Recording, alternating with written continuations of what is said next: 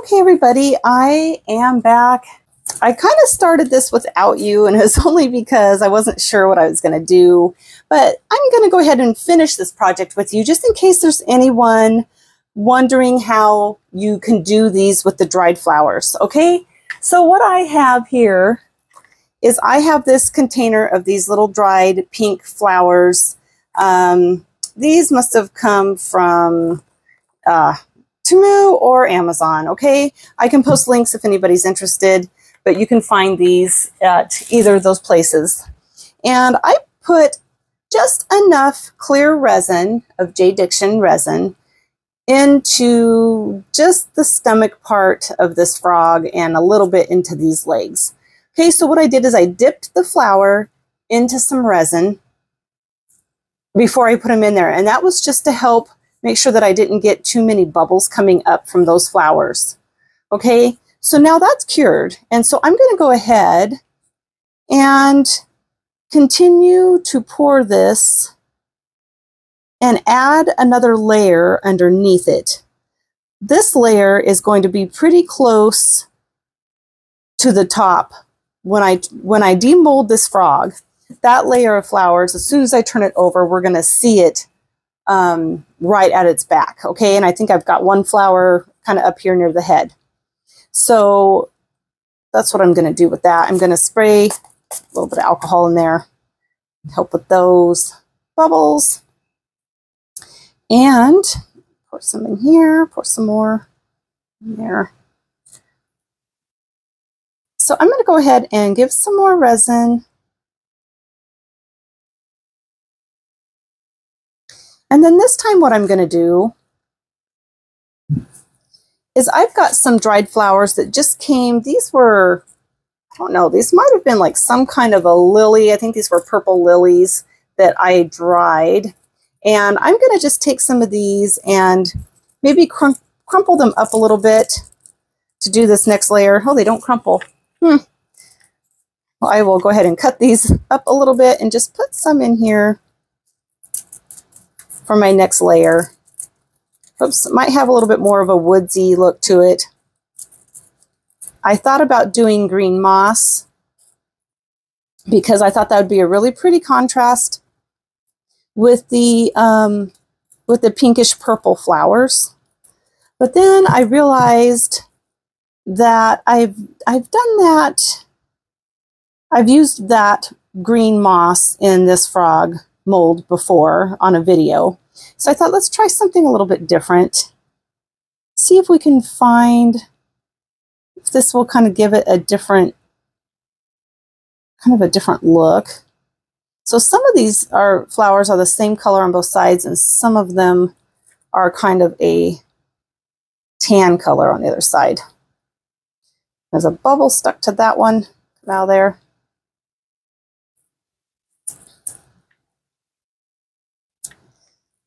Going to place some of those. You know, you just really don't have to be very, um, you don't have to have expensive dried flowers. You can find something in your yard, wildflowers even. I just, on these, I didn't even put these in silica gel. I just set them out on a paper plate and let them dry and they may have held their color a bit better had I used the silica gel, but um, I'm just fine with with the way that they turned out. But it's all preference, you know. Do what works for you and what you like. Poke some of them down. They'll be at different depths. Some are floating, some will be poked down in there. And I noticed with this particular kind of dried flower that they don't if I poke it in there, it stays where I left it. So, right, so now I'm going to go ahead and just put a bit more resin in here.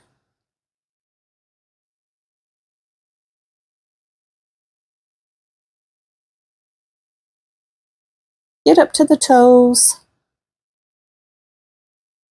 This is probably my favorite frog mold, this style. I love the little rounded feet. There's another one um, that was really popular before this one came out that had kind of, you know, the more, it wasn't really a cutesy frog. It was kind of more of a realistic kind of a pointy frog. And I like that one too, but this one is definitely my favorite to do. Okay, there we go. Now I'm gonna move those flowers around a bit because they're kind of bunched up once I filled this in. I could have waited until I got this full, but I wasn't really sure what I was going to do yet.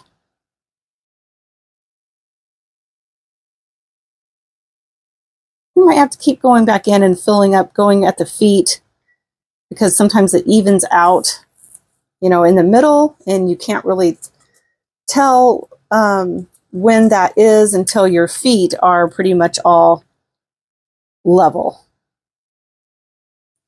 And I take my stick, scrape off the mold so that I have nice, even little toes and not web feet.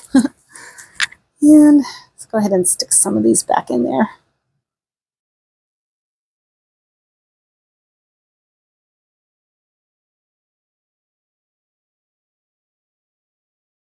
I'm just going to break off one another one of these little petals.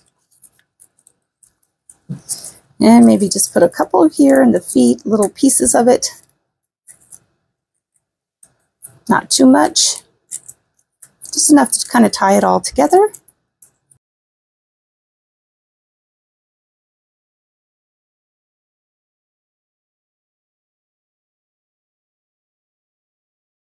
Just to add a little color, I'm going to take some of these green. They're like I'm not sure if it's glass. It might be crushed glass that are just kind of painted a metallic green. These came from, I think, Joann Fabrics for 99 cents at Christmas time.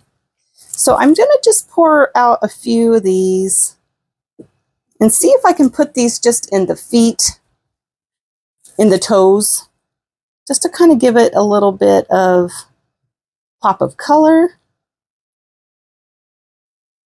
And they're heavy enough, I think, to where they're going to just stay there.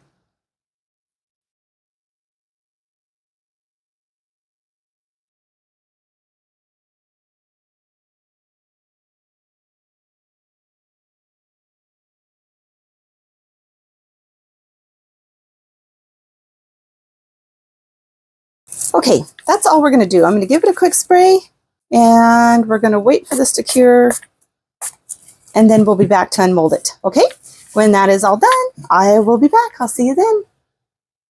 Hello, everybody. I'm back, and this little frog is all the way cured. And, you know, I've got a little bubble right here, kind of like a little belly button bubble, right? Right in the center. It's on the surface. Somehow I missed that. Um, I didn't come back and check it as often as I probably should have.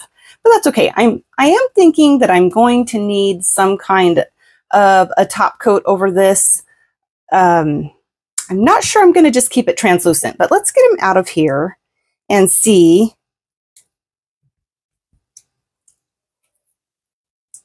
what we think. Let's see. It's gonna, I'm gonna have to break the seal around these back parts and then we'll work on getting that seal broken around his head. It's pretty. I don't see any bubbles on the inside. Just that one so far.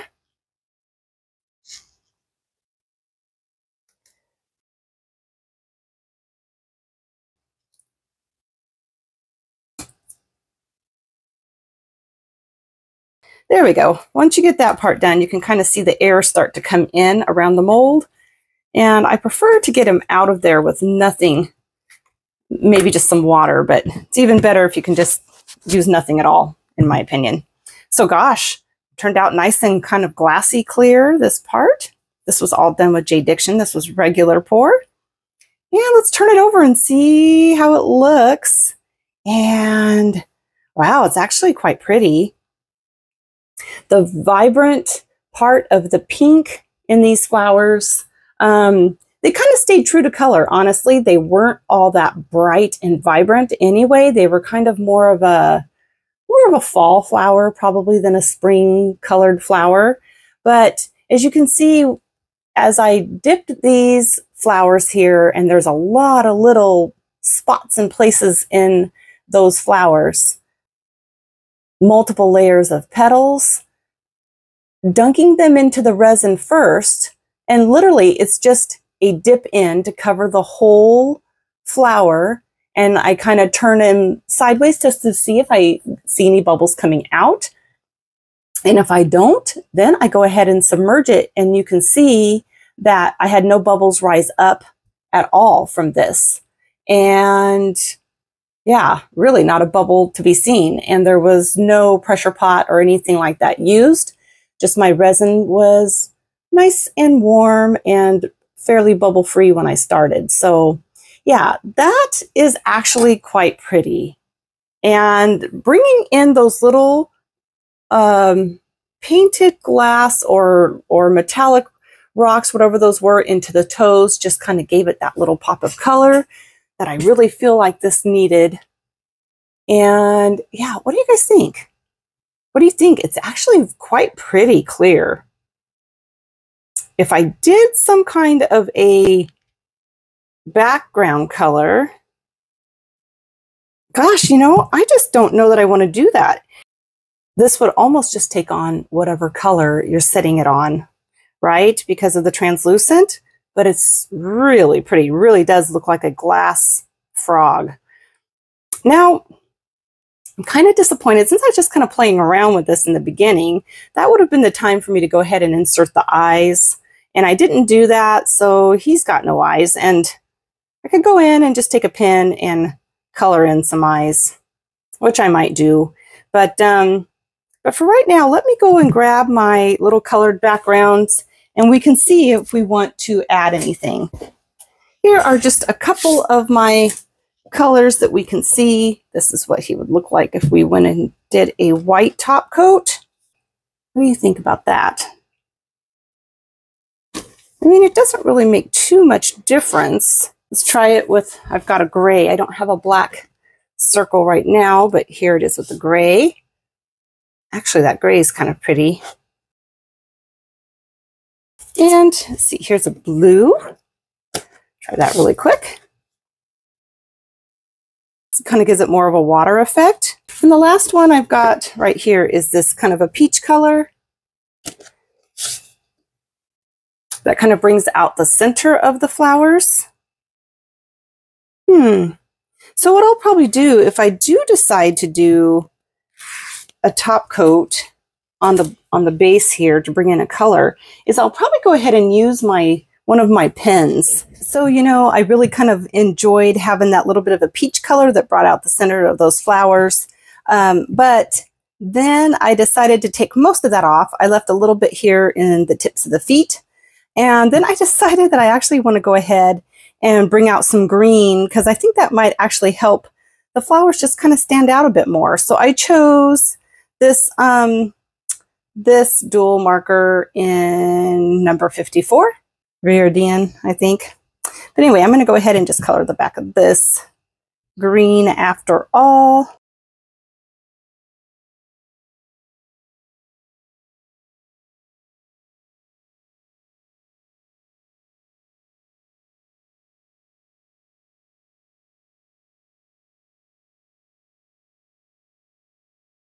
I'm going to turn this over and we'll see. This isn't dry all the way yet, so I'm going to have to be kind of careful, but let's see.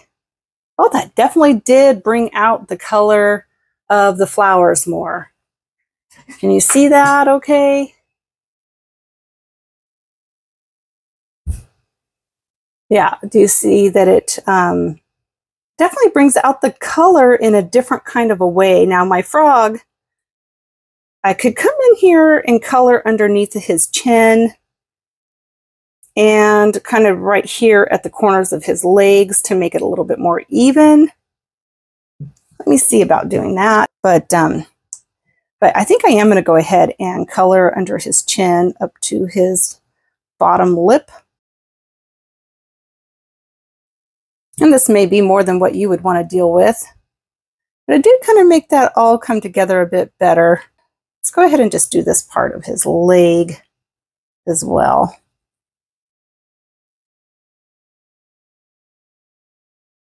Here, this looks like this on the bottom. Okay, And this is what he looks like all done. So with his legs and everything kind of all uniform now, I like this much better. Really pretty, really gives it that pop of color with the green underneath. Okay, I just went ahead and used my little black Sharpie pen here and just went ahead and did some little black eyes. And I'll probably come in and do like a little gold slit across um, each one just to kind of make it look more frog-like. But right now I'm going to wait for that Sharpie to dry all the way. But gosh, I'm really happy with the way this turned out. What do you guys think? What do you think of the change in the color to the green? You could definitely leave it translucent. So many different things you can do with this mold. It's one of my very favorites. Let me know what y'all think. Thank you so much for joining me. And he's going to join my other amphibian collection that I have got going because I just can't get enough of these little guys. All right, everyone. Thank you so much for joining me. I hope that you enjoyed this project. I hope it inspired you and gave you some ideas of your own. And I will see you all next time.